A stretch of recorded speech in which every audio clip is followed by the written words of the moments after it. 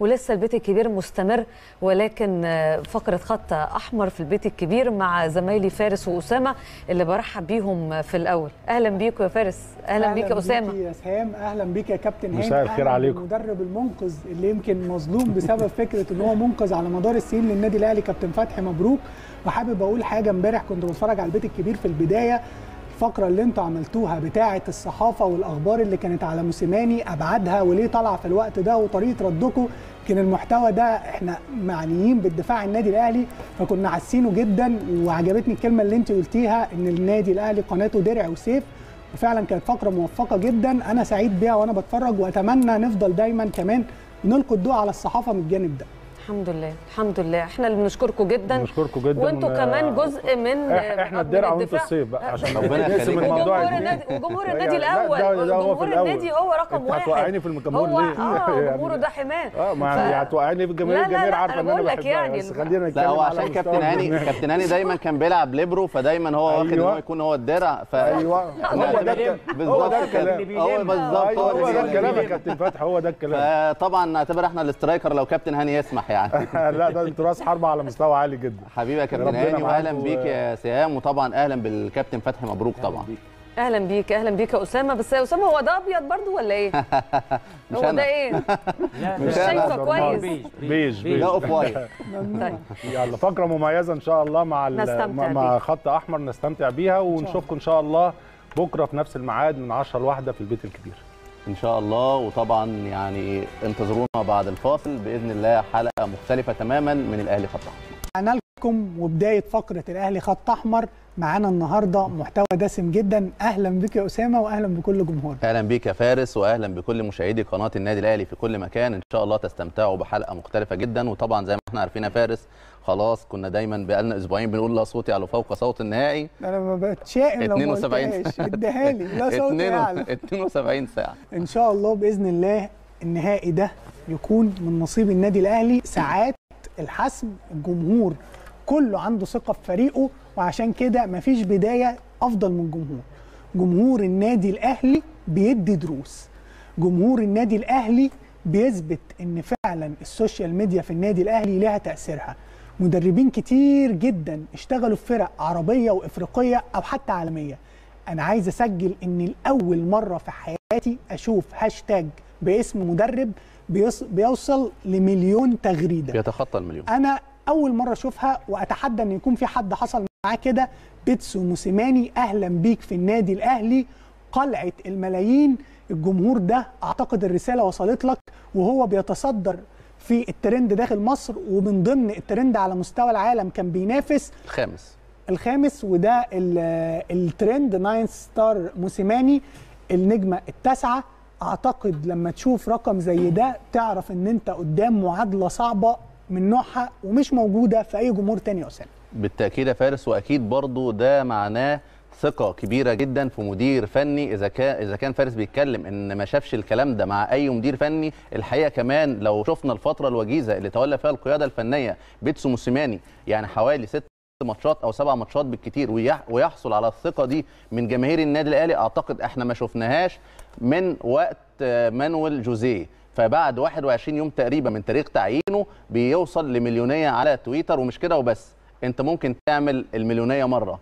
لكن كمان تاني يوم تعمل نفس المليونية ده رقم صعب جدا لكن مفيش حاجة بتبقى صعبة على جماهير النادي الأهلي اللي برضه تاني يوم بالظبط عملت مليونية أخرى رسالة للاعبي النادي الأهلي وتكريم لشهداء النادي الأهلي وطلبت بالتسعة لتكريم ال 74 برضه بتتخطى المليون وبرضه بتتصدر الهاشتاج بيتصدر تويتر لتاني يوم على التوالي. فلما تحب تعمل مليونية عليك وعلى جماهير النادي الأهلي. جماهير دايما عارفة إمتى يا فارس؟ تكون في وقت الصعب تكون دايما داعمه لفرقتها وإمتى بتشيل فرقتها؟ وده اللي بيفرق النادي الأهلي عن أي نادي آخر هو جماهير النادي الأهلي. 21 يوم النادي الأهلي ترند مختلف. كل يوم لاعب وكل يوم عضو والنادي الأهلي جمهوره بيدي رسالة للجميع داخل الفريق.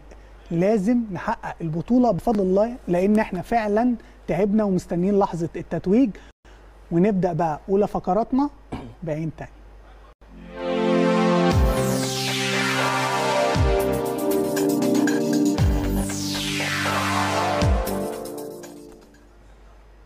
ورجعنا لكم وبداية فقراتنا. ولأننا بنشوف كل حاجة بعين تانية معانا النهارده. أمور شفناها بعين تانية.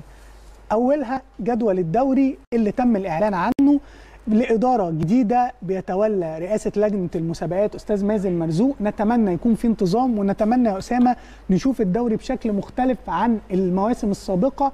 من حيث بقى التأجيلات وكل المشاكل اللي كانت بتحصل نتجنبها بداية النادي الأهلي على الأقل المواجهات الأربعة الأولى اللي أنا شايفها نسبيا جيدة جدا المقصة غزل المحلة الصاعد الاتحاد السكندري الجولة الرابعة عندنا الزمالك وحسنا فعلوا أن أخيرا يا أسامة مباراة النادي الأهلي والزمالك ما بتتحطش في ميعاد محدد يكون في آخر الدور الأول أو في آخر الدور الثاني لأن هي حرفيا كانت بتقتل متعة البطولة وبالنسبة لي كنت بحس أن إحنا بنعمل حاجة مش موجودة على مستوى العالم يا أسامة. هو الحقيقة فارس يعني ده مش ده أول موسم يحسب للجنة الخماسية إن ده الموسم الثاني على التوالي. وتقريبا إحنا كنا بنتكلم عن فكرة الأسبوع الأخير نقلوها المرة دي للأسبوع الرابع ثاني مرة على التوالي. بس نتمنى في هذه المرة إن المباراة يعني لا تؤجل لأي سبب من الأسباب.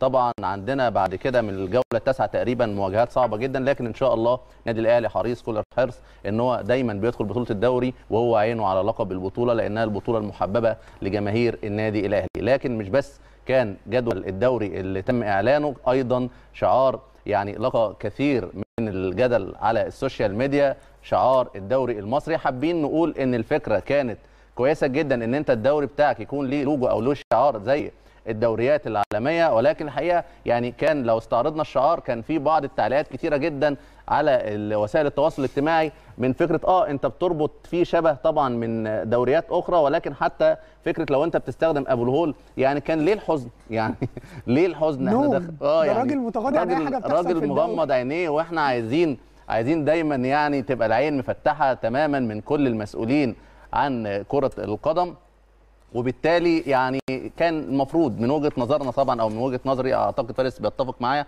إن. اللوجو يعني كان فيه بعض ال- الكلام كتير عن السوشيال عن وسائل التواصل الاجتماعي لكن في النهاية هي خطوة موفقة يا فارس أنا- لا مش موفقة لا أنا لا مش اللوجو اللي خطوة الفكرة- موفقة الفكرة الفكرة فيها إن جداً. انت خلاص بتعمل للدوري شعار وده مهم جدا ولكن يعني ناس كتير قال قالت لو كنت طرحت ده على وسائل التواصل الاجتماعي وتلقيت رسائل من عندنا ناس شباب زي الفل. تصميمات مبهرة. بالظبط. تصميمات كان المفروض مبهرة. ده اللي يحصل. بص يا أحمد أنا امبارح دخلوا عليا لقوني قلب اللوجو كده عارف عادل إمام لما كان بيشوف اللوحة ونفسي أفهم هو إيه المطلوب. يعني تحسه صاعد إلى السماء. لا خاصة كمان في حاجة هو أصلا ملوش علاقة بلوجو الاتحاد المصري لكرة ده بقى القدم. مهم.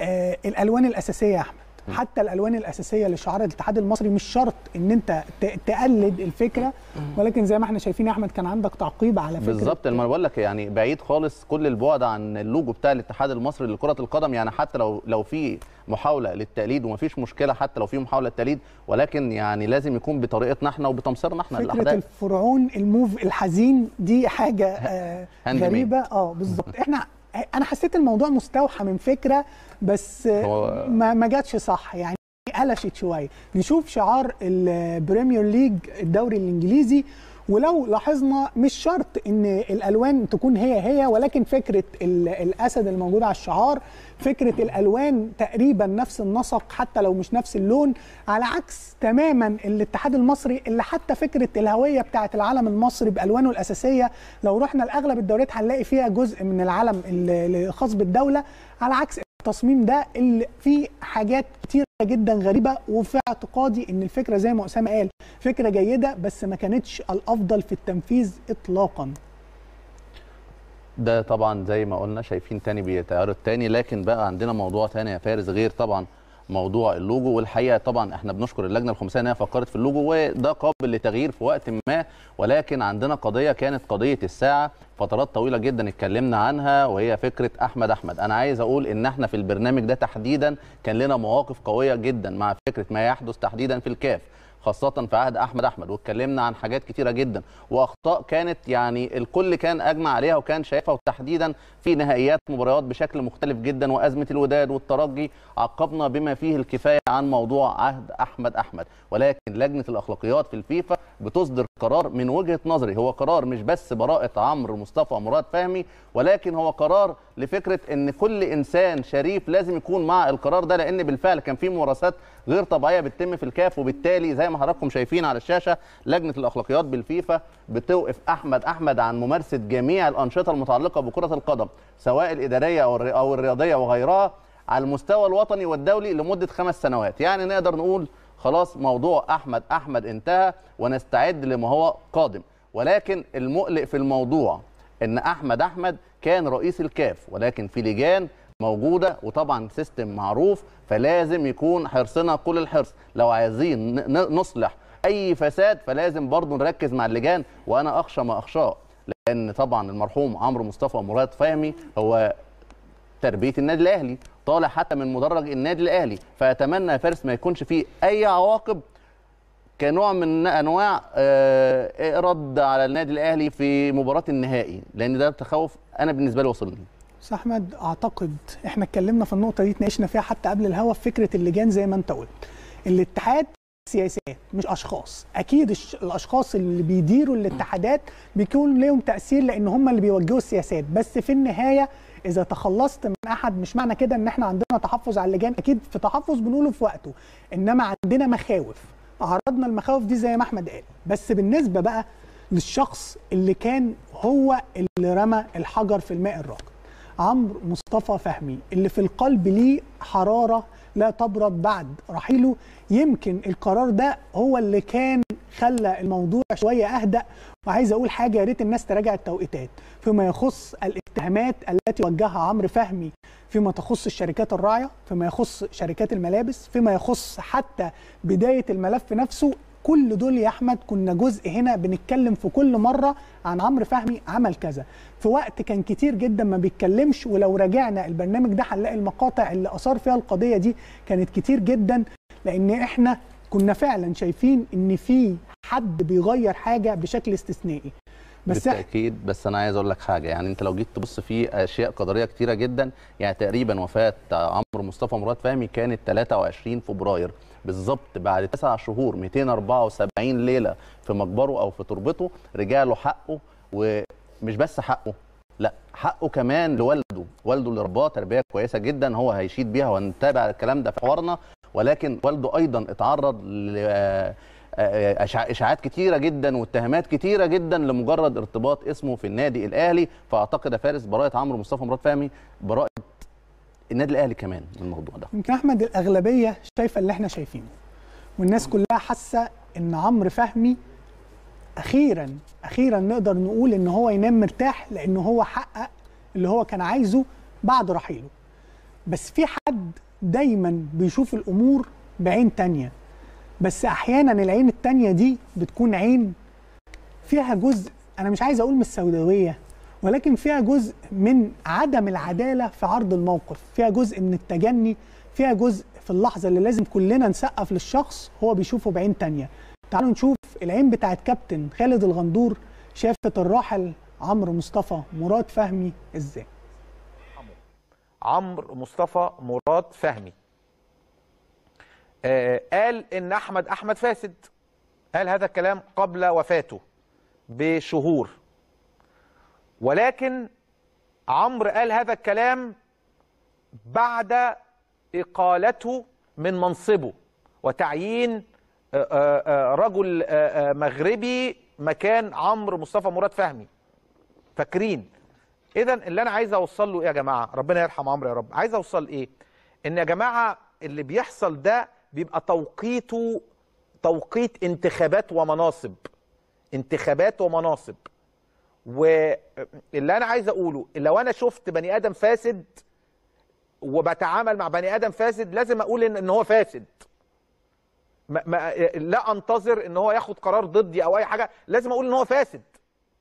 حتى لو أنا بشتغل معاه وحتى لو أنا في المطبخ. دي العين الكابتن خالد الغندور شاف بيها الراحل عمرو مصطفى فهمي في لحظة خاصة جدا. فيما يخص التوقيت أو إن الموضوع والاتهامات اللي وجهت لرئيس الكاف كانت بعد إقالة عمرو فهمي هيكون لنا واقفه مع أسامة معاه. بس أنا حابب أتكلم في نقطتين أثرهم.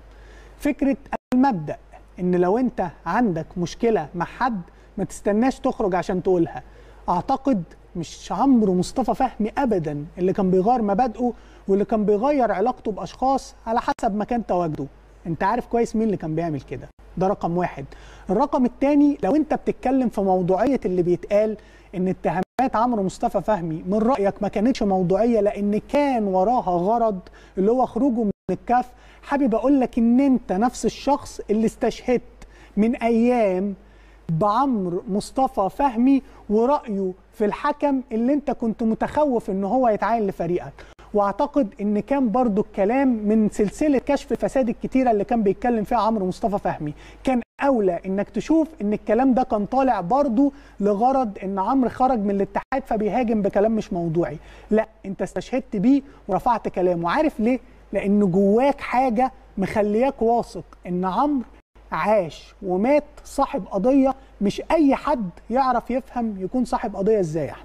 وعشان كده يا فارس يعني دايما بنقول يعني كان بيننا أحياء وهم كالاموات وعمرو مصطفى مراد فهمي إذا كان توفاه الله ولكن سيرته دايما هتكون حية بينا والحقيقة يعني أنا مش عايز ناخد الموضوع لسكة البعض يتذكر يعني أو يتكلم إن إحنا بنتكلم كابتن خالد غندور فواخدينها أهلي وزمالك. لأن الحقيقة في إعلاميين زملكاوية كتير جدا أشادوا بعمرو مصطفى مراد فهمي. والحقيقة أنا قلت الموقف أصلا ده هو موقف لكل يعني حد نفسه يقضي في بالفعل على الفساد. مش بيردد شعارات إن إحنا عاوزين عدالة وشعارات قضاء على الفساد وهو لو استفاد من الفساد ده فاهلا بالفساد. هو ده المهم جدا في القضية. يمكن حتى بعض الإعلاميين يعني مثلا الكابتن أحمد حسام ميدو اشدنا بيه هنا قبل كده وانتقدناه برضه قبل كده لأن الموضوع حسب الموقف وحسب الرأي وإحنا ما عندناش علاقات شخصية أو عداءات شخصية أو حتى اختلافات مع الشخص. إحنا مع رأيه دايما. كان له رأي عن عمرو مصطفى مراد فهمي في 2017 وشايف إن سبب تعيينه هو والده المهندس مصطفى مراد فهمي. ثم في 2018 كان داعم لفكرة أحمد أحمد وبيقول إن هو معاه ضد الفساد ولكن بالأمس عمل جزء كويس جدا عن عمرو مصطفى مراد فهمي وأشاد بعمرو مصطفى مراد فهمي وإنه كان عنده حماس شديد جدا للقضاء على الفساد. والجميل كمان إن عمرو مصطفى مراد فهمي خلى القضية مش أهلي وزمالك بدليل إن هو استعان بميدو وكمان استعان بزميل إعلامي. آه برضو اتكلم عن الموضوع ده بشكل مهم جدا ويوضح لكابتن خالد غندور إن الشكوى اللي صدرت من عمرو مصطفى مراد فهمي اللي توفى وهو عمره 37 عام كان وهو بيقبض آلاف الدولارات من الاتحاد الأفريقي ولكن رفض إن هو يقبض فلوس في ظل وجود فساد. فتعالوا نشوف اعلامي آخر بيتكلم عن قضية عمرو مصطفى مراد فهمي وتحديدا في توقيت الشكوى ليه بقى بنحكي الكلام ده؟ يوم الخميس اللي جاي سيحدث هذا الصدام بين المصري عمرو فهمي الأمين العام للاتحاد الإفريقي لكرة القدم والملجاشي أحمد رئيس الاتحاد الإفريقي لكرة القدم. وسيقوم عمرو فهمي بتقديم هذه المستندات أمام المكتب التنفيذي في وجود أحمد ليقول إنه هذه المستندات بها شبهه تلاعب أنا لم أوقع عليها ولم أقبلها على الجانب الآخر أحمد سيقوم في نفس الجلسة يوم الخميس اللي جاي وهيقول إنه عايز يعمل تغيير إن مثلا معاد حجي المغربي اللي هو يعتبر دلوقتي نائب عمرو هو اللي يتولى المنصب وهيتم تغيير الإدارات وبموجبها إذا صوت الحضور سيرحل عمرو عن المنصب. يوم الخميس والجمعة بعد هذه الجلسات العنيفة ربما لن يستمر الثنائي. ربما يستمر ربما لم يستمر الثنائي وربما يستمر أحدهم وطبعا رئيس كاف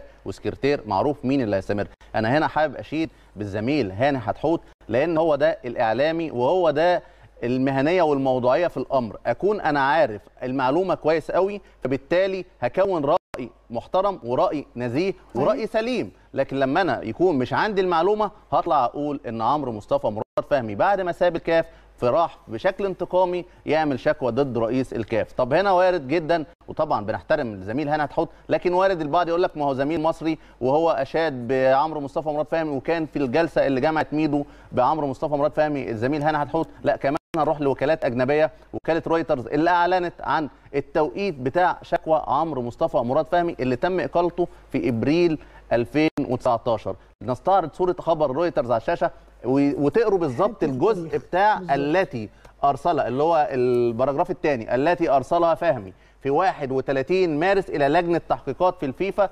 واطلعت عليها رويترز هنا مهم جدا إن أنت كمان مطلع على الوثيقة فبتنشر. بتتهم أحمد أحمد بإصدار أوامر لأمينه العام بدفع رشاوى 20000 دولار واتكلم عن كل قضايا الفساد اللي اتكلم عنها أحمد أحمد. ده- في 31 مارس. يعني الراجل بوضوح جدا وهو سكرتير عام الاتحاد الأفريقي منصب يتمناه أي شاب في سنه ومع ذلك رفض وجود فساد لأنه متربي صح يا فارس. تربي صح يا أحمد وعارف قضيته. وكمان المهم إن ناس في ناس بتربط بتقول الأحمد أحمد أقيل لأسباب أخرى. قضيتين أساسيين. القضية الخاصة بإسناد قبل بطولة أمم أفريقيا المحليين عشان في ناس ما تابعتش القضية من أيام عمرو فهمي. كانت الفكرة إن تم إسناد آه، عقد لشركة جديدة لتوريد أدوات رياضية. بما يقرب من مليون دولار مع إن العقد السابق اللي مع شركة تانية كان ب 250 ألف دولار. القضية دي كانت من القضايا الرئيسية اللي ثبت اتهام أحمد أحمد فيها وكمان إعطاء نوع من أنواع الهدايا لرؤساء آه، اتحادات. هي دي الفكرة إنك بتتكلم بمستندات وصح وزي ما شفنا رسالة للصحفيين والتغطية الصحفية برضو فكرة المصادر. قال لك طلعت على. الوثائق فلازم نتحرى الدقه بس أعتقد ممكن ناس تسأل. طيب كابتن خالد الغندور بيسأل دلوقتي. ممكن يكونش يعرف. ما طلعش السبب إن هو لما أقيل اخذ موقف. بس بيسأل برضه اخذ الموقف ليه؟ هنعرفك اخذ الموقف ليه لما نطلع ونسمع عمرو مصطفى فهمي. قال لك اسعى يا عبد وأنا عينك. لو انت قاعد على الكمبيوتر وقاعد بتشتكي على الإنترنت. ربنا قال لك ربنا زي ما بقول لك قال لك اسعى يا عبد وأنا عينك. لازم تعمل كل تقدر عليه. وتدعي وربنا بيعمل اللي فيه الخير. لازم تقتنع إن أنت تعمل أنت الصح ما تبقاش بتعمل حاجة عشان هتوصل لحاجة. أنت بتعمل واللي بيحصل يحصل. أنا الحمد لله أنا متربي على كده. الصح صح والغلط غلط. و أو يعني ابتديت أجمع الغلط وما ما يئستش. أنا ما فيش سكرتير عام في التاريخ في سواء في الاتحاد الأفريقي أو في الاتحاد أو أي اتحاد. أنا أول سكرتير عام في أي اتحاد قاري يعمل اللي أنا عملته. أنا لن أسمح. المرتب بتاعي كان كبير الحمد لله. لن أسمح إن الفلوس توكلني لن أسمح إن أنا أبقى فاسد زي زي اللي حواليا. أنا كان اهتمامي بالوظيفة إن تنظيف وتحسين وتكبير الكرة الأفريقية في جميع المسابقات آه، وده اللي على أساسه قبلت الشغل تربية المستغني تربية عمرو مصطفى فهمي اللي عمره قال ما هسمح إن فساد يحصل وأنا موجود عشان أنا مش مستني حاجة وما عنديش حسابات. يا كابتن خالد يا تعيش أحمد أحمد يا تموت عمرو مصطفى فهمي. رحمة الله على عمرو مصطفى مراد فهمي والحقيقة يعني كان عندنا كمان تعقيب من الوزير السابق المهندس آه، آه، خالد عبد العزيز وكان بيوجه الرسالة لوالد ووالدة عمرو مصطفى مراد فهمي تأكيدا على فكرة التربية وتحديدا في اليوم ده اليوم اللي اترد فيه اعتباره وترد فيه حقه حتى وهو ميت. لذلك دايما بنقول في ناس هتعيش أحياء ما بيننا وهم أموات وناس هتعيش أموات وسطينا وهم أحياء. هي دي الرسالة اللي نقدر نطلع بيها من عمرو مصطفى مراد فهمي ابن مصطفى مراد فهمي سكرتير عام الاتحاد الأفريقي ابن مراد فهمي سكرتير عام أيضا الاتحاد الأفريقي. أعتقد لا هو ولا والده ولا جده يقبلوا فساد وبالتالي هم نماذج مشرفة وبنشرف بيها. دي كانت قضية عمرو مصطفى مراد فهمي ولكن عندنا قضية أخرى وموضوع آخر عن فكرة نبذ التعصب والحقيقة فكرة كمان الحديث عن الجماهير والمعلومات لما بتكون مش صحيحة. نطلع نشوف آه، الفيديو للزميل الأستاذ سيف زاهر ونرجع نعقب. دي رسالة بس لكل حد ممكن يطلع يقول إيه؟ أصل آه، كنتوا جايبين صحفيين فسألتوا الصحفيين آه، يعني جمهور الأهلي أكبر ولا جمهور الزمالك؟ ما هو حضرتك اللي حكى لك لأنك لا يمكن تكون اتفرجت. اللي حكى لك ما قالكش. إن إحنا عمرنا ما بنستض- ما- ما بنستضيف حاجة اسمها صحفيين. إحنا بنستضيف اثنين نقاد رياضيين أو صحفيين ولهم كل احترام واحد زملكاوي وواحد أهلاوي. فالسؤال بيترد عليه من الجانب الزملكاوي والسؤال بيترد عليه من الجانب الأهلاوي.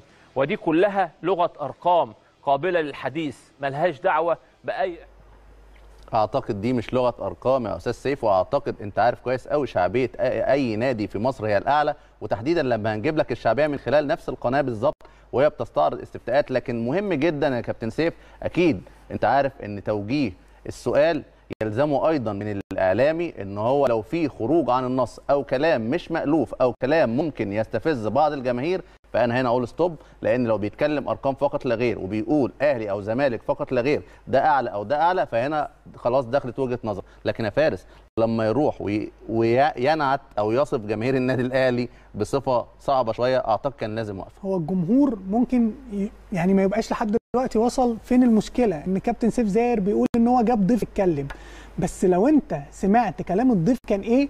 هتعرف إن كان في مشكلة كبيرة قوي. نطلع ونسمع أستاذ عمرو الدرديري مع كابتن سيف زاهر كان بيقول إيه؟ جمهور الأهلي قد جمهور الزمالك لكن الفكرة في إيه؟ إن 90% من ال- اللي بينتموا يقول لك أنا أهلاوي بيبقى ملوش أصلا في الكورة يقول لك أنا ما بشجعش بس أنا أهلاوي. فهم دول دي الزياده يعني الزياده في إيه؟ كده يعني لا لا لا لا لا اقف 90% اقف يعني بيقول لك أنا ما أعرفش كوره يعني 90% بس أنا يعني. بشجع ال- لا لا لا لا لا بقول لك 90% من ال- المجموعه دي لا لا لا لا لا يعني كده يعني الأهلي يعني قد جمهور جمهور الاهلي ما بيفهمش كوره يعني يعني اللي. بيفهموا كوره لا انت انت عايز تقولني جمهور الاهلي أنت بتقول ما بيفهموش. أنا بتكلم على جمهور الاهلي قد جمهور الزمالك اللي بيفهم كوره قد اللي بيفهم قده كوره إزاي يعني؟ قدهم آه انت عايز تقول انت عايز الزيادة تقول اللي عامل ال- الزياده هو هو اللي هم يعني يعني. الزياده يعني مثلا هنقول 30 قصاد 30 والبقيه ال 40 دول ما بيفهموش في الكورة مثلا تقصد كده؟ أنت عايزهم ما يفهموش في الكورة خلاص. لا أنت اللي بتقول كده. ده معنى كلامك يعني. أنا ما بقولش كده. ده أنا أنا بقول اللي ما لهمش في الكورة اللي ما لهمش. يعني إيه ما لهمش؟ يعني أنا ما بشجعش كورة أصلا. ما بنتميش. فتيجي تقول لي أقول لك أنا أهلاوي. طب ليه؟ مين اللي بيقول كده؟ بتجيبوا واحدة الكلام ده منين يا اسال أستاذ اسأل؟ الناس امشي في الشارع. يعني. الكلام ده بتجيبه منين؟ ده أصلاً موجود موجود ده إزاي. يعني يا جماعة؟ طب ليه ده اللي. ملوش في الكورة؟ يعني؟ طب يعني ليه اللي ملوش في الكورة يختار الأهلي؟ جدا الحقيقة. إيه؟ ليه اللي ملوش في الكورة يختار الأهلي؟ مع الرايجه يعني. يعني مع الأغلبية.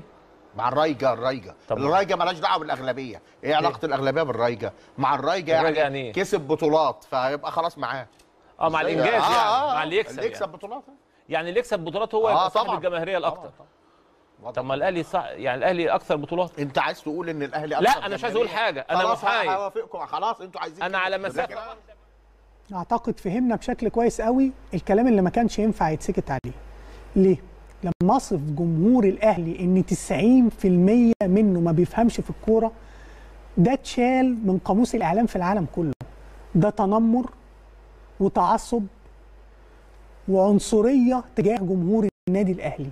مش من حق كائنا من كان يوصف مشجع إنه بيفهم في الكورة أو ما بيفهمش في الكورة.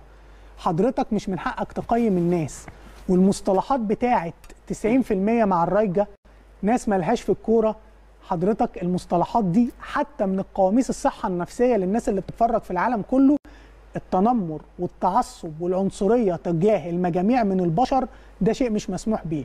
عشان هنا يا كابتن سيف كان في رسالة إعلامية مفترض يتقال ستوب. الكلام ده مش رأي. خارج نطاق الرأي. ده إساءة وإهانة لجمهور النادي الأهلي. بس كمان الكلام نفسه محتاج يترد عليه من خلال الأسبوع ده كان أسبوع يا عايز أقول النادي نقطة الأهلي. تعقيبا. على النقطة دي وتحديدا 90% إحنا بنشكر الأستاذ عمرو الدرديري إن هو وضح حتى على كلامه إن 10% فقط من جماهير النادي الأهلي اللي هو من وجهة نظره شايفهم بس هم اللي بيفهموا كورة بيعادلوا جماهير نادي الزمالك. إحنا بنشكرك بس على النقطة دي. كمل بقى فارس. هكمل لأن في حاجة بربطها باللي أنت بتقوله. اللي ممكن يكون مش مهتم رياضيا ولازم ننتقي الالفاظ لما نيجي نتكلم على جموع الجمهور. اللي مش مهتم رياضيا مش هيبقى عنده account يدخل يشارك في تصويتات ويشارك في استفتاءات. هي دي بالظبط. العينة. طب العينة اللي بتشارك في استفتاءات وعندها تويتر عندها سوشيال ميديا بشكل عام وبتدخل يبقى دي عينة فاعلة. تعال نشوف نسبة العينة الفاعلة دي. إلى جمهور الزمالك كانت إيه؟ أولا قبلها عايزين نروح لحاجة على المستوى الدولي. مجلس دبي الرياضي كان عامل فكرة السنة دي لها علاقة بمنح جوائز تقديرية للأندية وللاعبين. عمل فكرة إن على مدار آخر 20 سنة مين أفضل نادي؟ حط 8 أندية. سبع أندية من أوروبا. وهم بايرن ميونخ برشلونة يوفي ليفربول مانشستر يونايتد باريس سان جيرمان وريال مدريد ونادي فقط من إفريقيا وآسيا وحتى أمريكا الجنوبية خد نادي فقط خارج قارة أوروبا وهو النادي الأهلي. ليه ده اتعمل؟ لأن أنت معادلة مختلفة عن أي نادي آخر. أنت نادي صاحب شعبية تدعو أي حد في أي تصويت زي ما شفنا في الماركه قبل كده يحط النادي الأهلي عشان يعمل صدى لأي. استفتاء. وكمان ده لا ينكر إن النادي الأهلي عظيم. ده لا ينكر إن النادي الأهلي عظيم ولكن ده حجم شعبية النادي الأهلي. لما تيجي ترصد فريق واحد ضمن سبع فرق أوروبية بس ما كانش ده بس يا أسامة المقياس لشعبية النادي الأهلي. بالظبط يا فارس. كمان كان عندنا اون تايم سبورت وبرنامج آه، طبعا المشترك فيه الكابتن سيف زاهر مع الكابتن أحمد شوبير. كانوا عاملين استفتاء عن أفضل لاعبين في مصر. وارد جدا برضو زي ما بنتكلم طب أنت أنت اخترت لاعبين الشناوي معاها أبو جبل معاه ده هنشوف الاستفتاء. أي استفتاء هتلاقيه بص على اللاعب الفايز وهو لاعب النادي الأهلي بغض النظر عن فكرة اتفاقك هو الأفضل ولا لأ. لكن في النهاية أنت بترصد ظاهرة وهي ظاهرة شعبية وتفاعل جماهير النادي الأهلي. أكيد ال 65% اللي اختاروا عمرو السولية جزء كبير جدا منهم عندهم قناعات إن عمرو السولية بيقدم موسم استثنائي ونموذج مختلف ويستحق وجزء آخر هو أهلاوي ففي النهاية بيميل دايما للاعب النادي الأهلي. 65% عمرو السولية. هنا علي معلول يا فارس 77% حصاد الموسم أفضل لاعب أجنبي. وكل الاستعراضات لو استعرضنا كل اللاعبين هتلاقي نفس القصة دي. أحمد هو هو مزنق لأن أنت قلتها في نص الكلام. بتناقش مع صديق زملكاوي آه. النهارده في حتة الاستفتاء ده بكلمه عليه يعني.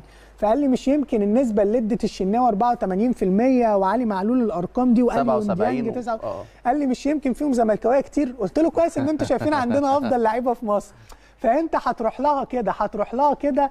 ده بيوريك أيمن أشرف 63% طبيعه طبيعة جماهير الزمالك يا فارس مختلفة يعني. ودي آه. برضو يا أسامة عايز اكد عليها نقطة مهمة جدا. هو أحيانا بيتلاعب بيك في فكرة إن أصل الشريحة مش متابعة كورة بتشجع النادي الأهلي لمجرد إنك تقول له كذا. دي شريحة فاعلة جدا. وعلى فكرة الاستفتاء جزء كبير منه كان على تويتر. وعايز أقول لك إن تويتر منصة نوعية شوية عن فيسبوك. عن فيسبوك. آه، بالظبط. يا أحمد. منصة نوعية شوية بمعنى اللي بيدخل عليها بيكون جزء متفاعل قوي ومتابع ومهتم بشكل بشكل. مختلف. وبرده اكتساح. ده عينة عشوائية. لو قست كده عايز أقول حاجة برضو الصفحة الرسمية للنادي الأهلي عليها حوالي 12 مليون متابع ضعف. ضعف نادي الزمالك. كل دي مؤشرات يا جماعة لما حد بيجي يبتدي التسويق ما بيقولش أنا حد حقوق رعاية النادي ما عندوش جماهير كتير. بيجي يشوف المنصات الجماهيرية تفاعل النادي ده معاها إيه؟ عشان كده شعبية النادي الأهلي لا يضاهيها أحد داخل الوطن العربي وأعتقد إفريقيا وكمان على المستوى العالمي النادي الأهلي مصنف من ضمن الأندية الأكثر جماهيرية وأعتقد سؤال ما بقاش ليه مجال للإعراب لأن شعبية النادي الأهلي مش مجال لأي مقارنات مع أي نادي مع احترامنا لجميع الأندية ولكن ده الوضع القائم أو الراهن للنادي الأهلي. والحقيقة مش بس جماهير عادية خارج في الوطن العربي بتشجع النادي الأهلي لكن استوقفنا برضو فيديو لأسطورة تونس طارق دياب بيتكلم فيه عن هو بيشجع مين في مباراة الأهلي والزمالك القادمة. نسمع ونرجع نعقب. الزمالك يعني بصراحة آه. نهائي الله يعين الحكم والله يعين ها بصراحة مباراة كبيرة باش تكون إن شاء الله الأفضل هو اللي يفوز. الفرق الاثنين مستوى متقارب جدا صحيح. السنة هذه الزمالك عنده أسبقية فاز الزمالك صح في السوبر صحيح. وفاز في الدوري. والزمالك عنده من الناحية الفردية لاعبين مميزين. جماعيا الأهلي أفضل الاثنين وصلوا الدور النهائي. أهم شيء هنا مكسب الكرة المصرية. والعربية أنا فريقين والعربية يوصلوا إلى الدور النهائي. إن شاء الله الأفضل هو اللي يفوز. وإن. شاء الله التحكيم يكون في المستوى. هذا هو. وإن شاء الله معناتها نحتفلوا بفوز الفريق اللي نحبه أنا ما نقولش عليه. وشكون الفريق اللي ما نقولش عليه. لا ما نقولش وامتى تقول. ها؟ وامتى تقول. الفريق اللي رئيسه صاحبي ولعب ضده. محمود خطيب. محمود محمود محمود صح؟ مع- معناتها هو أنه الطارق أهلاوي. ها؟ لا، لا. معناتها ان شاء الله نشوف مباراة كبيرة. الفريق اللي رئيسه صاحبي ولعبت ضده. اتكلمنا كتير قوي في موضوع الشعبية إن أحد أسبابها وارد جدا يكون نجم ملهم. وأعتقد في الكرة المصرية يعني من أكبر الملهمين في الكرة المصرية هو الكابتن محمود الخطيب وبالتالي تصريح أسطورة تونس الكابتن طارق دياب اللي الحقيقة كان له موقف واضح جدا في 2012 وهو بيسلم كاس لحسام غالي. كان في سعادة واضحة على وشه برغم إن هو تونسي ولكن برضه فارس ميوله للنادي الأهلي كويس. ميول النادي الأهلي وزي ما أنت قلت يا أحمد فكرة ارتباطك بالنادي الأهلي لاعبين جماهير بطولات النادي الأهلي بيجمع كل ده. حتى في سفارة نيوزيلندا السفير النيوزيلندي حب ينزل صورة دعم للنادي الأهلي وقال إن هو مشجع للنادي الأهلي. ممكن أستعرض الصورة؟ هو اتكلم برضه عن إن في أهلاوي وفي زملكاوي. النائب بتاعه زملكاوي. بالظبط. بس إن شاء الله بإذن الله سفير نيوزيلندا هو اللي يفرح. ما هو بإذن الله ال- تمشي زي ما كده. السفير والنائب البطل والوصيف إن شاء الله. طبعا دي كانت دي كانت جزء من برنامجنا أو الفقرة الأولى من برنامجنا. ولازم نرجع نطلع فاصل ونرجع نكمل بقية البرنامج. ورجعنا لكم مع فقرتنا فار روم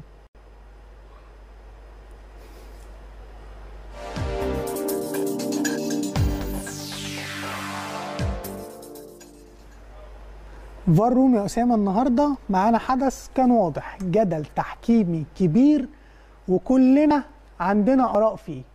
كابتن محمود عاشور اللي كان بيدير مباراة الزمالك ونادي مصر. كانت المباراة فيها قرارات غريبة جدا. أنا شخصيا في قرار بيستوقفني قبل ما أروح لل- للفقرة نفسها. القرار اللي حسب فيه ركلة جزاء وما اداش أي بطاقه هو ده اللي استوقفك؟ لا, ده في حاجات لا أصل في حاجة تستوقفك ما فيهاش وجهات نظر. أنا أول مرة أشوف فار بيستدعي حكم الساحة يقول له شوف الخط ده مظبوط ولا لا. طبعاً. ما فيش الكلام ده في أنا التسلل معاك. ولكن قرار بتدي فيه عقوبة وهي ركله جزاء الفار بيراجعك بيقول لك لا الكورة من بره مش ركله جزاء فهنا بتتعامل إن الكورة فيها آه، فاول بس بتدي طرد لأن هي فرصة محققة. طبعا فكرة العقوبة الثلاثية اللي هي تم نزول بند بيها ولكن أنا ما بتكلمش في كده. هو كان ممكن يدي إنذار لو هو مقتنع إن إن هي الفرصة فرصة محققة, محققة. بالظبط. أنت أصلا والكورة جوه المنطقة ما كنتش مقتنع إن هي فرصة محققة. لما طلعت بره وما بقاش فيها ركله جزاء فاللي هو الزمالك ياخد أي حاجة بقى فيها طرد وكانت واقعة غريبة. بس كمان في حاجة غريبة قالها كابتن جمال حمزة بمناسبة الحاجات الغريبه كتير جدا اللي كانت في المباراة دي عن كابتن محمود عاشور إن هو كان عنده علامة استفهام إنه أصلا يحكم المباراة. نطلع ونسمع كابتن جمال حمزة.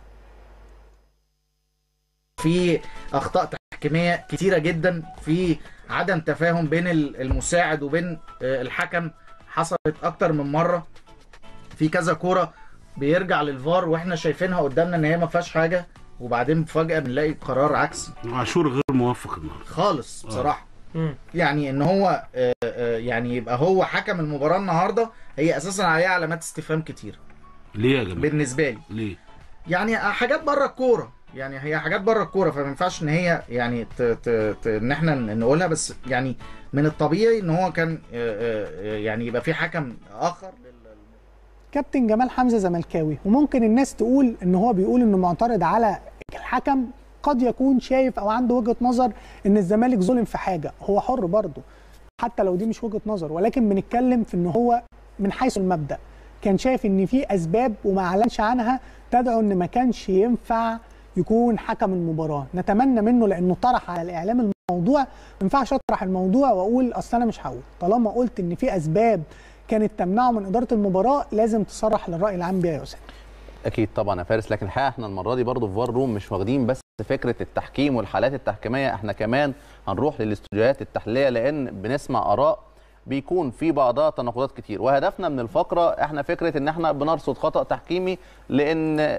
كله يتعلم. إحنا نتعلم المشاهد يتعلم يوصل لأي حكم يبقى عارف ان في الأخطاء اللي وصل ليها. زي ما بنقول ما فيش حكم في كرة تسلل offside يطلع للفار. ده مش موجود أصلا في الفار.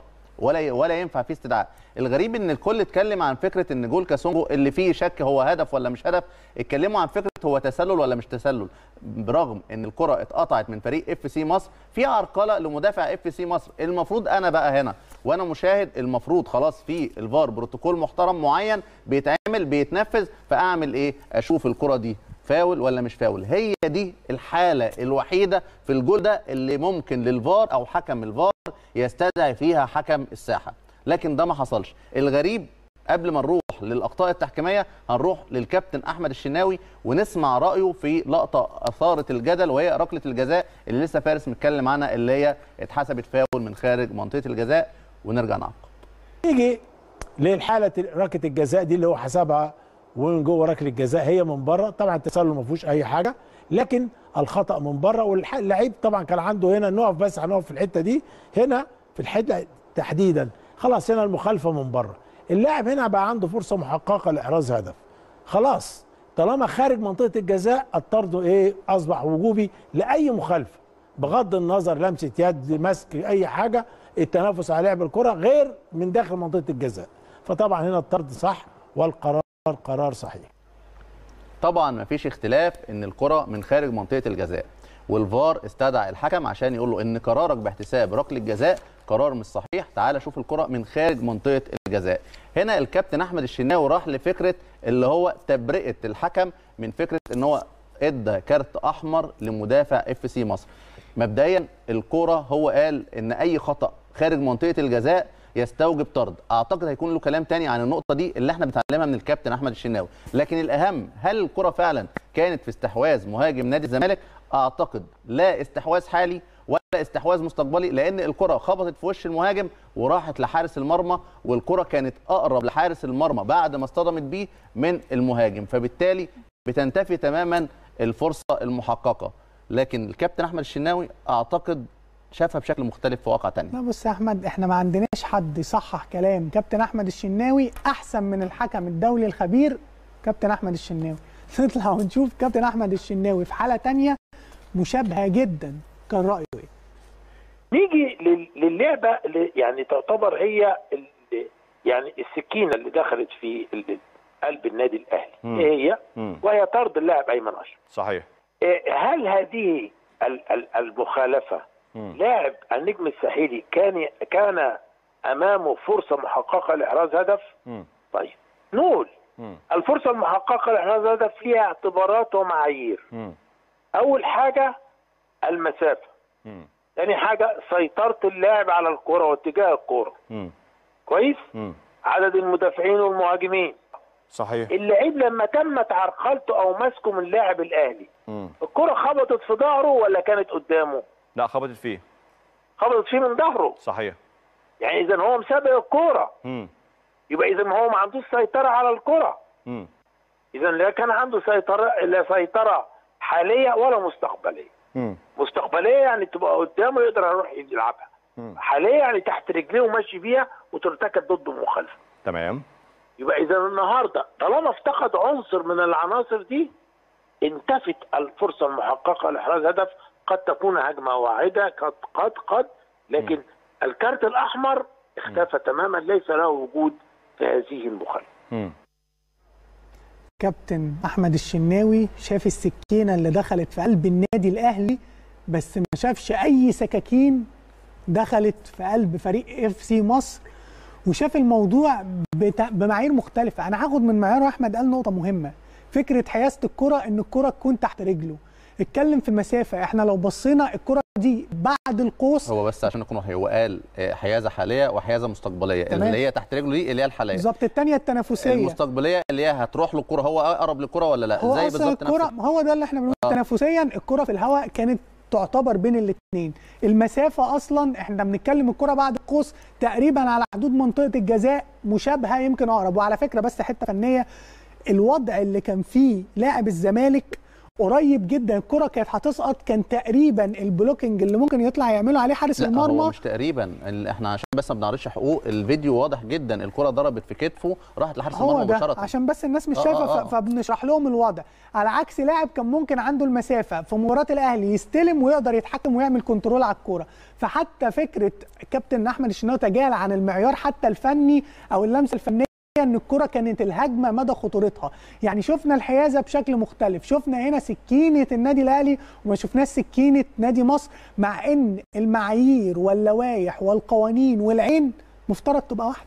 واحدة والقرار الصح القرار كان هنا غلط وكان هنا غلط. طرد ايمن أشرف ما كانش مستحق وكلام الكابتن أحمد الشناوي كان كلام فعلا يرتبط باللوائح والقوانين ولكن ربما خانه التوفيق أو ما شافش الكره بشكل واضح في مباراة الزمالك وإف سي مصر فما كانتش باينة السكينة اللي انضربت في دفاع إف سي مصر. لكن عندنا كمان حكم الساحه في وقائع كتيرة جدا حدثت في المباراة دي يعني متعلقة حتى بفكرة تيشيرت الحكم لكن أخطاء كتير جدا منها مثلا عرقلة أو التعامل مع الحكم باليد بيستوجب حاجات كتيرة جدا.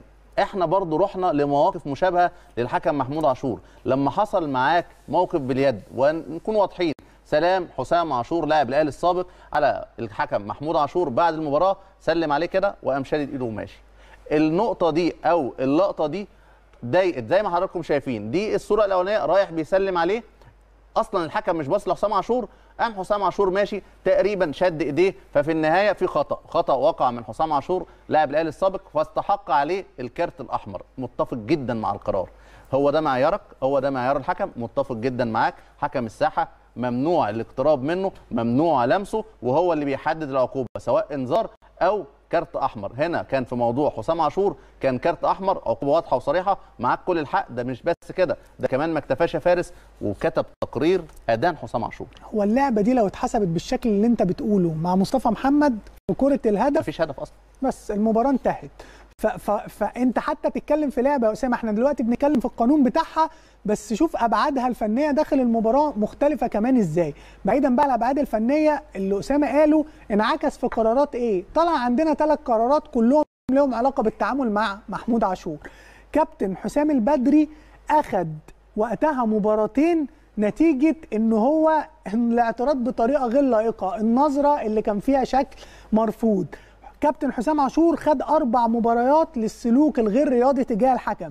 كابتن سيد معوض خد 8 مباريات لقيامه بدفع الحكم. هنا إحنا بنتكلم في واقعة فيها عقوبات متدرجة حسب فعل كل واحد. كابتن مصطفى محمد عمل إيه من دول؟ على الأقل هو عطل الحكم خلال المباراة وخلال أحداث المباراة. على فكرة جزء فني كمان يا أسامة هو منع عن التحرك بالظبط. حاجة برؤيته حاجة مش طبيعية ان هي تحصل خلال سير هجمة. نتمنى يكون في عقوبة واضحة وصريحة غير الجزء الفني. بص يا أسامة ده ده مانع الراجل. ودي في الدقيقة تحديدا فارس 95 وثلاث ثواني. بعدها ب 30 ثانية بالظبط هدف بس الزمالك هي دي تدل إن مصطفى محمد بيعرف يدافع كمان. بالظبط. يعني هو عامل بلوكينج 10 على 10 طبعا بص حاجب رؤيته وحاجبه عن اللعبة وطريقة فيها اعتراض غير وفيها طبيعي إصرار. وفيها إصرار. آه طبعا فيها تعمد واضح. وبيعطل الحكم على الحركة عقوبة مصطفى محمد لو هنفضل كل حلقة نستعرض اللقطة ونقول فين العقوبة. كل حلقة هنستعرض اللقطة ونقول فين العقوبة. لأن معيار نفذه نفس الحكم في تقريره ما ينفعش يتجاهل في تقرير في مباراة أخرى إلا لو عنده هوى وأعتقد ممكن يكون في ده مبيت لأن اللعبة فنيا كانت تستدعي العقوبة في لحظتها لأن الكرة دي زي ما قلنا غيرت مصير المباراة. هو الكابتن آه، محمود عاشور كان عنده حرص شديد جدا أكتر من مصطفى محمد على إنه ما يضيعش ولا ثانية من وقت المباراة المحتسب بدل الضائع وهو ست دقائق فطبعا ده حرص كان شديد جدا. فبالتالي في انتظار تقرير حكم المباراة اللي بالمناسبة الصورة دي يعني مش تضايق بس مش المفروض تضايق بس الكابتن محمود عاشور لا ده تضايق كل التحكيم المصري. لأن التحكيم الأوروبي الوضع مختلف تماما. طبعا دي الدوري الأسباني وصورة واضحة جدا مع مدافع أتلتيكو مع مدريد آه، سافيتش مع الحكم الأسباني خوسيه لويس. الكلام واضح جدا في عتاب ده بيحصل كتير جدا لكن هنلاقي صورة واضح جدا لمس هي دي. مجرد لمس يعني في أصلا كرة متوقفة مش كرة ماشية زي أو كان اللعب متواصل زي كرة مع مصطفى محمد. هنا بس حط إيديه على صدره كده. كان قرار الحكم إيه؟ هنشوفها في الصورة اللي بعد كده. الإنذار. امور واضحه جدا وصريحه. مفيش حاجة اسمها ان أنا المس حكم الساحه وعلى حسب اللمسه حكم الساحه هو اللي بيتاخد بياخد القرار. هنا لمسه بسيطه جدا في اعتراض في كره متوقفه اتحسب على طول الحكم ما ترددش وادى انذار. فعلى الأقل كان المفترض من الكابتن محمود عاشور إن يوقف اللعب يدي انذار لمصطفى محمد. كان لازم أو طرد على حسب ما هو يترقى ليه وياخد أي إجراء قانوني تجاه اللاعب لأن إحنا مش بنخترع قوانين يا جماعة. إحنا بنجيب لكم مشاهد واضحة وصريحة. المباراة دي في نفس الأسبوع. أنا مش عايز بتوع برشلونة يزعلوا. لأن هم اتغلبوا لكن المباراه دي في نفس الأسبوع. انت الحلقة اللي فاتت لطشت في انت ميسي. انت كده لا، الحلقة لا، دي. بتلطش في برشلونه فكرة- وجمهور برشلونة لابد الا يرحمه أنا أرجنتيني الهوا. أنا أرجنتيني الهوا ما مش- تحاولش. مش حاسس. أرجنتيني الهوا والله. أرجنتيني الهوا. من أيام مارادونا. من أيام مارادونا وميسي طبعا لاعب عظيم. وبرشلونة فريق كبير. وبرشلونة فريق كبير وبتعرف آه، تجر ناعم. بس كمان عندنا بقى فقرتنا المحببة اللي إحنا ما بنسيبش فيها حاجة. كالعادة ريمونتادا.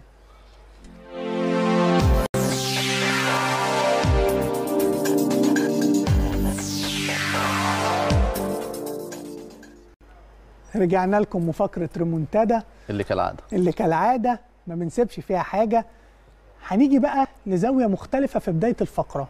إخراج مباراة النادي الأهلي ونادي الزمالك مباراة القمة ونهائي إفريقيا. مفيش مشكلة إن جمهور يكون عنده رأي. أي جمهور من حقه يبقى عنده رأي.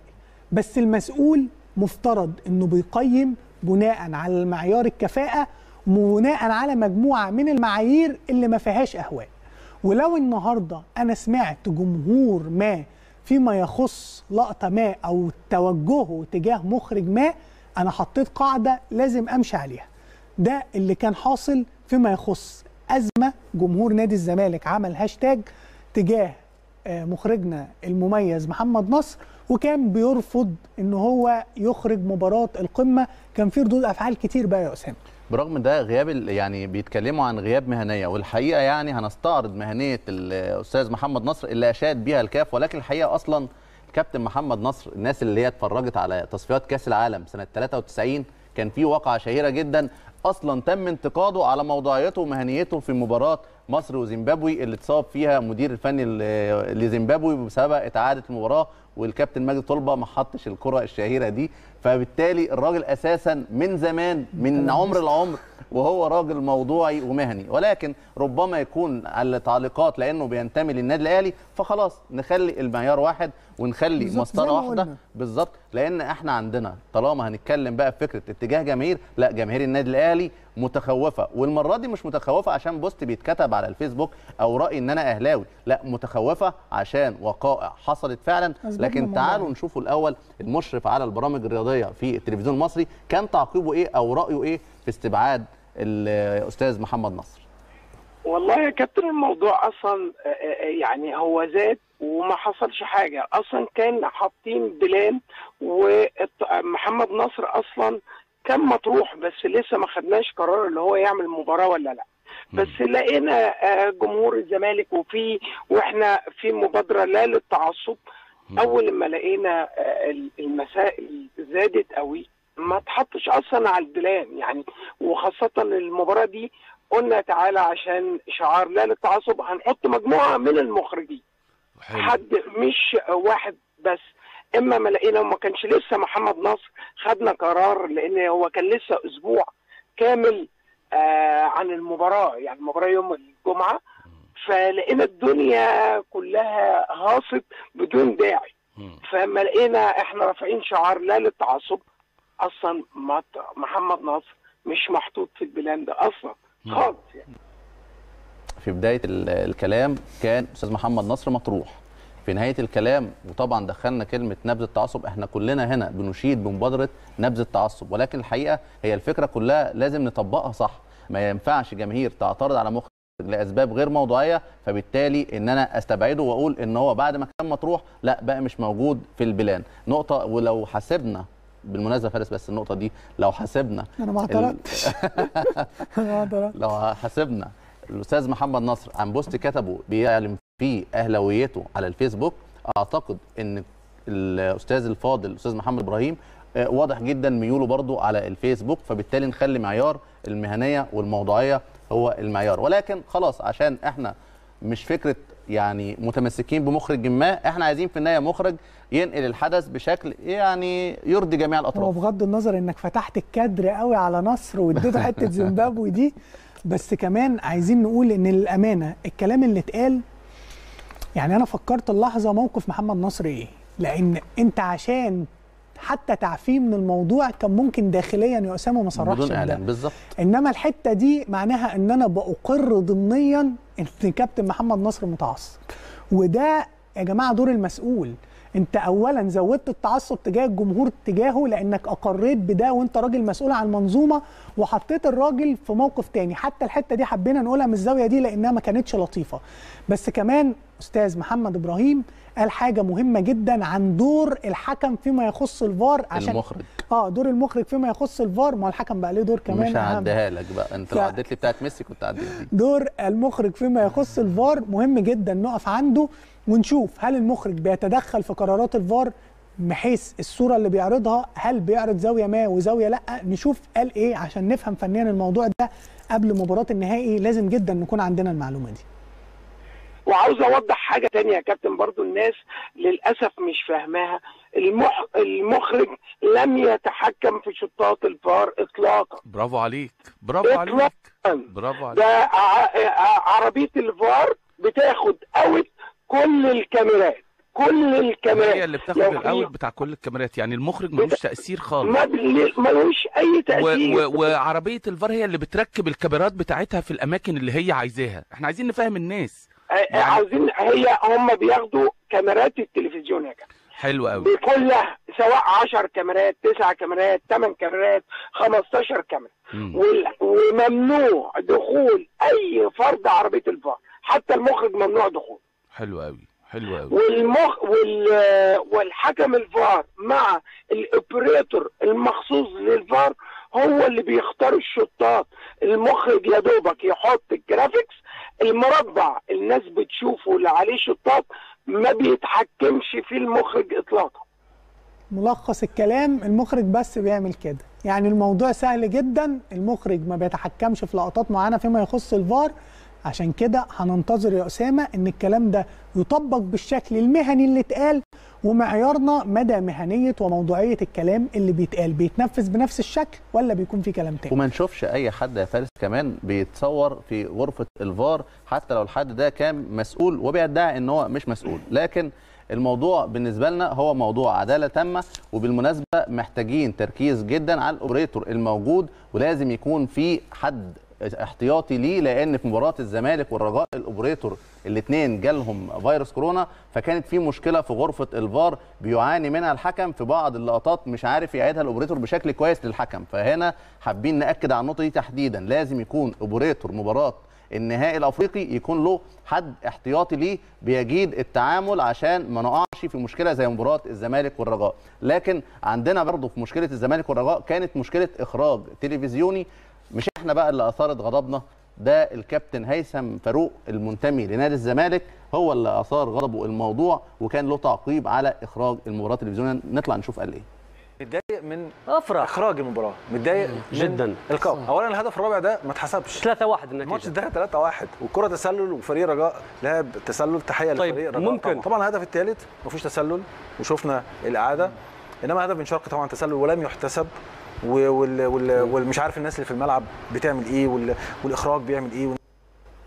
طبعا يعني انتماء الكابتن هيثم فاروق معلوم للجميع ودي لقطة جات له بعد ما المباراة انتهت بالظبط وانتقلوا على الاستوديو التحليلي فكان برغم الصعود للنهائي ممتعض من فكرة اللي حصل في هدف اتحسب واتلغى واتحسب نتيجة 4 1 3 1 وآثار غضبه برغم الصعود للنهائي فارس كان الإخراج التلفزيوني مبدي علامة استياء كتيرة جدا على وش الكابتن كان مين هيثم الإخراج؟ فاروق لا ما هو نفس الإخراج كان مباراة تانية هي آه. حسنية أغادير. بالظبط. عايزين بقى نعرف مين الإخراج لما نشوف اربط المشهد ونبدأ نشوف كابتن هيثم فاروق في لحظة فاصلة في مباراة حسنية أغادير في الكرة اللي جنش كان بيتعامل عليها على خط المرمى. كان رأي كابتن هيثم فاروق في دور الإخراج إيه؟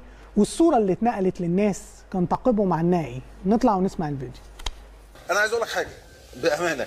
دي لو نادي الزمالك أنا كنت أقول لك هدف أنا متأكد. شو؟ لو دي لنادي الزمالك أنا كنت أقول لك هدف. خلاص أنا وصلتني الإجابة. أوكي. ولكن المشكلة مش لأنك أنت أحيانا هيثم لا لا لا. امامك أنا في الحق. أمامك ضمير مهني. بالظبط أنا في الحق. أمامك ميثاق الضمير المهني. بعيدا عن الانتماء. دي فيها شك هذه. فيها آه، ولكن حقيقة في مشكلة واضحة. كبيرة جدا. مشكلة عند مخرج المباراة. صح. مخرج المباراة ما عادهاش ليه. معك. إن الحكم خلاص خد قراره مش جون. لازم يدينا القرار النهائي. يعني أنا محق انني سميتها حالة. آه بالظبط. من. الصعب إنك. أنت تجزم. وبعدين إحنا كنا بحكم في زاوية واحدة على المخرجين الافارقه والكاميرا مان افارقه إن هم إزاي ما بيعدوش الحالات. الحالات فيها شك. خلاص الحكم خد قراره الحكم ما خدش فيها قرار. ولا المساعد رغم إن أنت قلت المساعد واقف في مكان ممتاز. الحكم عمره ما ياخد فيها قرار. هو المساعد. رغم المساعد بعيد ولكن واقف على خطها. ولكن لا دخل قرار ولا دخل قرار. إذا مخرج المباراه هو اللي عنده مشكلة. هو اللي خلينا نقول مش جون أو جون جون أو مش جون وخلينا نشك في اللعبه أكتر ما ما عندكش جون لاين تكنولوجي في أفريقيا كلها. طيب زي أوروبا. عزيز أكد إن هي هدف. وأنا حسب الصورة هاي والزاوية هاي إن هي أكيد 100% هدف. شوف ممكن عيدها مرة آه، أخرى. هيثم لو كانت للزمالك؟ لا أنت كنت عايز عايز تاخد مني اعتراف إنها هدف؟ آه. آه، أنا شاكك أنا نخاطب في ضميرك المهني أنا شاكك إنها هدف. مش هيثم فاروق الزملكاوي. شاكك إنها هدف. انما ما أقدرش اجزم بالكاميرا دي عمرك عمرك ما. ليه؟ لأن الكاميرا دي خدعة دي من الامام كاميرا جانبية هتخلي الكل يصمت. ما حتى كانت هناك في إعادة أخرى مخرج عنده مشكلة كبيرة من جدا. تحت مش واضحة نهائيا. هي فيها شك إنها تكون هدف. أنا معاك. أنا معاك. فيها شك إنها تكون هدف. ولكن المخرج عنده مشكلة كبيرة جدا إن هو بيبعد عن الحقيقة. لأن من الكاميرا الجانبية هتقدر تفصل فيها. اتفاهم موقفك تماما. كابتن أنا نفس الإخراج ولكن المشهد هنا عنوانه غياب المهنية. بمعنى كابتن هيثم فاروق بيتكلم في شيء واضح جدا إن لو أنا ما كنتش بشجع الزمالك كنت هقول إن هي هدف. مش فاهم الجملة دي اتقالت إزاي لانها جملة خطيرة جدا بتعكس حاجات كتير جدا في تحليلات كابتن هيثم فاروق. كمان في نفس الوقت الكرة اللي كانت تغطيتها بالزاوية دي والناس مش قادرة في حدث مهم جدا زي ده تشوفها من أكتر من زاوية عشان توصل لقرار. ده كان أبعاده إيه؟ هنشوف مع أسامة. لما يكون فارس نفس المباراة بنفس الإخراج كمان يتعقب عليه من كابتن هيثم فاروق اللي هو بينتمي نادي الزمالك في مباراتين للزمالك بيحصل إثارة جدل تحكيمي في لقطات معينة في اللي ما بيتعادش منها وفي اللي مش من زاوية واضحة. لا لازم هنا نقول بقى هو ده اللي إحنا مش عايزينه يكون موجود في مباراة القمة. لأن كمان لما نسمع رأي المخرجة في مداخلة بعد ماتش حسنية أغادير والزمالك هنعرف إن الموضوع ما كانش مهني بالمرة. نسمع رأي المخرجة إيناس عثمان. لقطة ال- الجدل الكبيرة اللي هي بتاعت آه، لقطة آه، حسنية أجادير عدت الخط ولا لأ؟ ليه ما اتعدتش؟ بص حضرتك حضرتك لو رجعت شريط الماتش هتلاقي مم. إن اللعب اتلعب بسرعة جدا. مم. أول ما لقيت وقت فاضي عدتها عدتها. اتعادت؟ وحضرتك آه اتعادت. أي لقطة؟ وحضرتك راجع شريط الماتش. أي لقطة؟ لقطة الجول اللي هو المشكوك فيه هو كانت جون أو من على خط المرمى. هي كانت على خط المرمى وكان تحقيق على خط المرمى. اتعادت في نف في الماتش ولا بعد الصفارة آه في الماتش في المباراة في أواخر المباراة في آخر المباراة. في أواخر المباراة. آه. طيب من خلال رؤية و- حضرتك بالكاميرات المختلفة عدت الخط ولا ما عدتش؟ لا ما عدتش الخط. آه ما عدتش بكامل استدارتها يعني. لا لا لا لا لا لا آه كان في أكتر من كاميرا جايبة اللقطة أكيد يا استاذه إيناس مش كده؟ يعني من كذا آه أكتر زاويه من كاميرا. آه آه من آه. كذا زاوية. آه أنا بحاول أفتكر اتعادت إمتى لأن أنا تابعت الماتش كله بس شفت إعادة جول إبراهيم حسن اللي اتلغى. إبراهيم حسن اتلغى وهي الكرة جت في بطنه برضه هي برضه كان ما جاتش المفروض في إيديه. جون. آه ما جاتش في إيديه في برضه. بطنه. لا. وكورة حسنية أجادير؟ بقى من ك... آه ما عدتش خط المرمى. ما عدتش خط المرمى. طيب جميل. نعمل الربط كده. هنا ما تحاولش بس الفكرة اللي مخرجة كمان إحنا بقينا نستدعي المخرجة وبشكر طبعا هنا هتحط على الحوار اللي تم معاها إن هو أصلا ذكر إنها فعلا ما اتعادتش وأنا ما أعرفش هي اتعادت إمتى على حد كلام الأستاذة إيناس عثمان الحقيقة ما اتعادتش وكمان بتقول رأيها في الكرة وبتقول إنها ما عدتش خط المرمى وهدف إبراهيم حسن جاب بطنه وبرضه بتتكلم من فكرة التشجيع التام اللي هو بالظبط قاله الكابتن هيثم فاروق لسه معقب عليه فارس أنا كزملكاوي لو هي للزمالك هقول جول مش للزمالك هقول ما عدتش.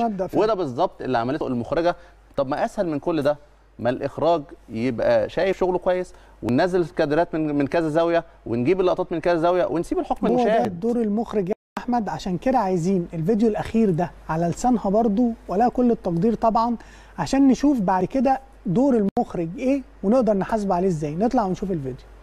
آه لو ما كانش في مجال لإعادة اللقطة عشان الماتش سريع بتختاري أي وقت تحديدا لإذاعة ال- اللقطة؟ في أي بقى أي out بقى فاهم إزاي؟ أي حد فاول مثلا وقعدوا فيه فترة كده أختار الوقت ده. بس ما أقدرش أ... ما أقدرش ال live عندي أهم من الإعادة. آه، ال live عندي أهم طبعاً. من الإعادة أكيد يعني أكيد. صح. هو الفكرة إن أول ما الكرة آه، اتردت في واحد وقع على الأرض فلعيبة المغرب اتجمعوا على الحكم.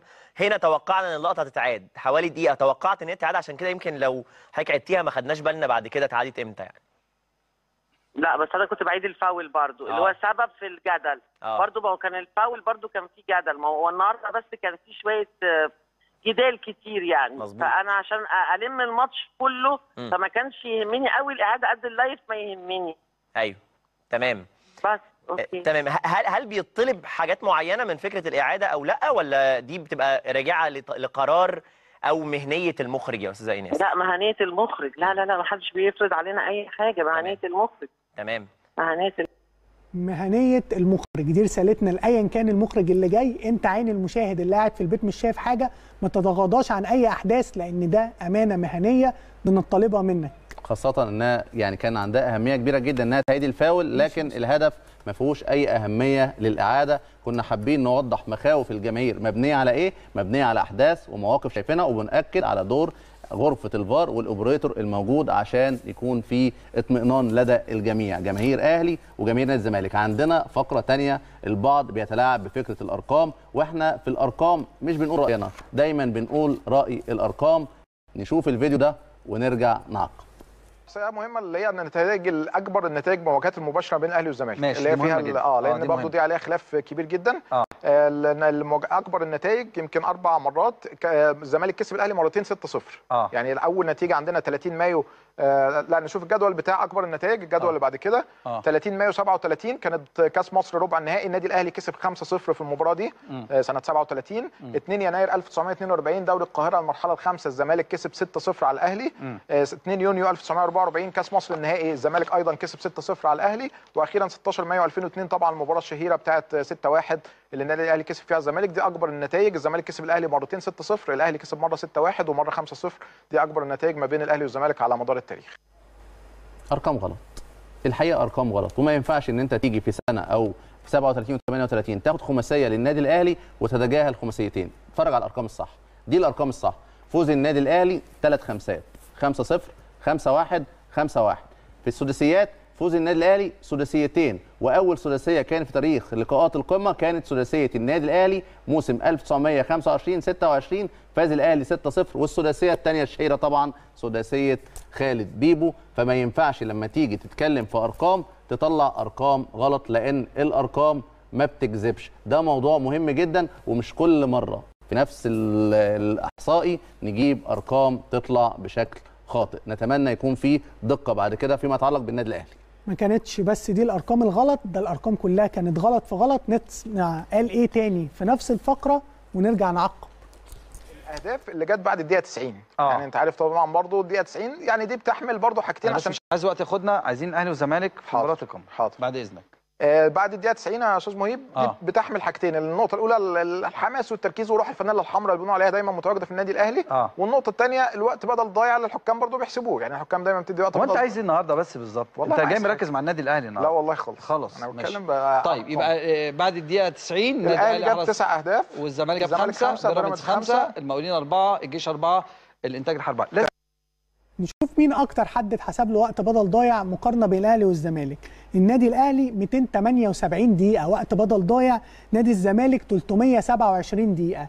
كونك بتحاسب النادي الأهلي على شخصيته في إن استغل العدد الأقل من الدقائق وسجل عدد أكبر من الأهداف ده شيء غلط وده معيار مش منطقي. وعلى فكرة النادي الأهلي ما سجلش تسع أهداف في الوقت بدل ضايع سجل 10 أهداف لأن النادي الأهلي شخصيته وروحه هي اللي بتحسم المباريات دي. ودي كانت الحاجة الوحيدة في اللي أنت قلته صح شخصية وروح النادي الأهلي. بقيت معلوماتك كلها غلط. طبعا ده كان حلقة النهارده من الأهلي خط أحمر رسالة بسيطة للاعبي النادي الأهلي التاريخ بيحفظ حقك في مباريات زي دي. كذا نهائي. خدنا فيه البطولة. 23 لاعب سجلوا. أتمنى ألاقي اللاعب 24 و25 و26 لأن الأهداف دي هي اللي بتظل في الذاكرة وهي اللي بتخليك في مكانة مختلفة جدا عند جماهير النادي الأهلي والنادي الأهلي بشكل عام. اشوفكم يا رب الثلاث الجاي والأهلي بطل. أفريقيا. سلام.